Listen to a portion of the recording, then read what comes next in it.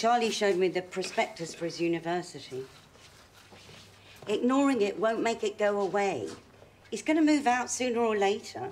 Yeah, well, not today. Have you considered that this might be the perfect opportunity for you to live a little? To fill the inevitable void with something new? Someone, even. When was the last time you went on a date? Well, I'm a bit more quality conscious than you. Oh. Quantity's more my thing. Even remember what a penis looks like?